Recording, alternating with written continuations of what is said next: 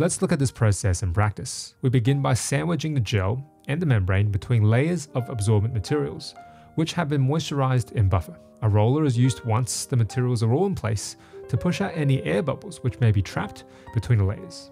The tray containing the gel and membrane is then placed into a semi-dry blotter, which applies a current through the gel and membrane. This effectively mirror transfers the proteins from the gel onto the membrane.